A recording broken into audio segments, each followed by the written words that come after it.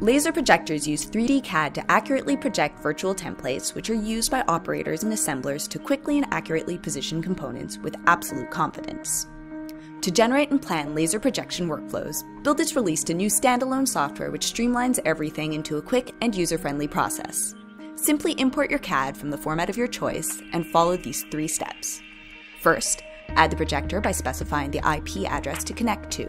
Second, add the points to be used to align your projector. Finally, select the edges of the parts, artifacts, or areas of interest you'd like to outline. You can reorder them in the tree view in any way you'd like. That's it! Export your projection file and ready for projection.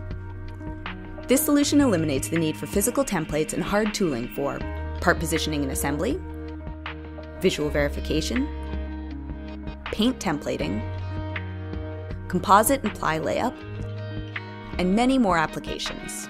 Download your free trial now of Build BuildIT Projector at builditsoftware.com.